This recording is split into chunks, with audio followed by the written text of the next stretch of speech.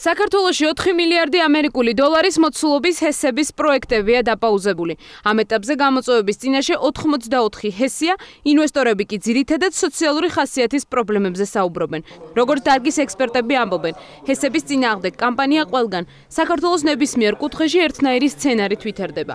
ამის გამო კი ქვეყანა კარგავს როგორც ინვესტორებს, ისე შანსს იმისას, რომ ენერგო დამოუკიდებლობისკენ ნაბიჯები გადავდგათ. მათი განმარტებით პრობლემებს როგორც შანსს, ისეთ მსხვილ პროექტებთან ერთად როგორც მაგალითად ყველასთვის ცნობილი. ნამახვან ხესია ცირე და საშუალო ჰესებიც აწყდებიან არის უამრავი პრობლემები. იგივე ფაქტიურად ნარატივი არის ყოველთვის იგივე.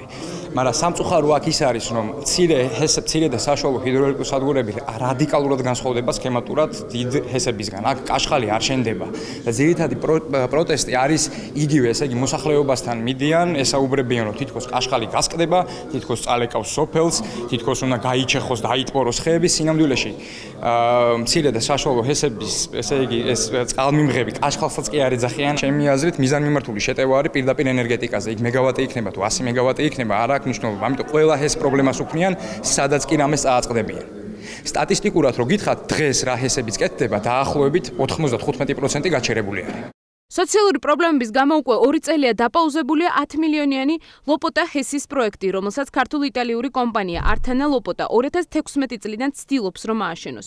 კომპანიის აღმასრულებელი დირექტორი ამბობს, რომ 3 წლის განმავლობაში კომპანიამ 1 მილიონი დოლარის ფინანსური რესურსით ყველა საჭირო კვლევა ჩაატარა და რთული სანებართვო პროცედურების შემდეგ ლოპოტა ჰესის პროექტის განხორციელების ნებართვაც მიიღო.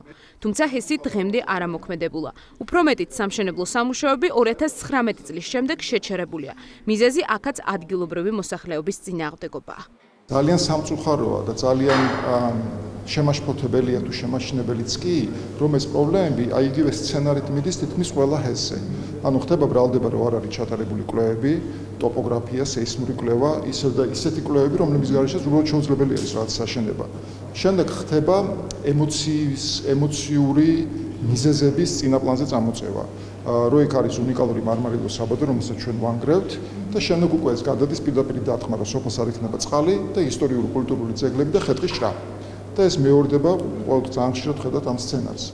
და მაინც სად არის გამოსავალი? ვინ უნდა იყოს ადგილობრივი მოსახლეობის ინფორმირების ნაწილში ჩართული და არის თუ არა საკმარისი სახელმწიფოს ის ჩართულობა, რაც დღეს ხორციელდება? დარგის ექსპერტები გვიხსნიან, რომ მნიშვნელოვანი როლი აკისრიათ ადგილობრივ თვითმმართველობებს, რომლებიც მოსახლეობის ინფორმირების ნაწილში უნდა ჩაერთონ და მათ მიაწოდონ შესაბამისი ინფორმაცია თუ რა სახის სარგებელი აქვს ამა თუ იმ ჰესის პროექტს. ადგილობრივ თვითმმართველობებთან არის სამუშაო ძალიან ბევრი. რომ კომუნიკაცია მოხდეს, რომ მნიშვნელობა ესე თქვა ჩვენი პროექტების ძალიან სწორად და ნათლად დაინახოს. ეს ციფრები მეტყოლებენ შემდეგს, რომ დღეს ჩვენი გენერაცია, ჩვენი საკუთარი, ანუ არ გულისხმობ იმპორტს და არ გულისხმობ ფოსატურებს, რომელიც ისე იმპორტირებულ გაზზე არის. არის 8-9 მილიარდის პარკლებში, გააჩნია როგორი წელი გვაქვს. აა ყველა კვლევების მიხედვით 2030 წლისათვის, ანუ ძალიან მალე ეს თითქმის გაორმაგდება, ანუ 21-დან 25 მილიარდამდე გახდება ჩვენი მოხმარება.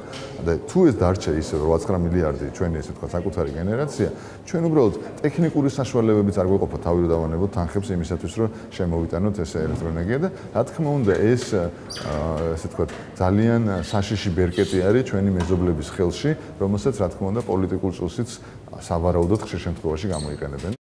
ერთ-ერთი სექტორი, სადაც 2020 წელს პირდაპირ უცხოური ინვესტიციები მკვეთრად შემცირდა სწორედ ენერგეტიკა. გასულ წელს ამ მიმართულებით მხოლოდ 6 მილიონი ამერიკული დოლარის ინვესტიცია განხორციელდა, რაც 2019 წელთან შედარებით 98%-ით ნაკლებია. სექტორში არსებული პრობლემების გადაჭრის მიზნით საქართველოს განახლებადი ენერგიის განვითარების ასოციაციამ ზაობას გამოთქვამს. რომ დარგში არსებული მდგომარეობის დასტაბილურების მიზნით გახდეს ერთგვარი პლატფორმა, რომელიც დაინტერესებულ პირებს ყველა პროექტთან დაკავშირებით ამომწურავ ინფორმაციას გააცნობს. მათი განმარტებით იმ შემთხვევაში თუ კამპანია არა ჰესებს გაგრძელდება, ქვეყანა ენერგოდამოუკიდებლობის სტატუსს კიდევ დიდხანს ვერ მიიღებს.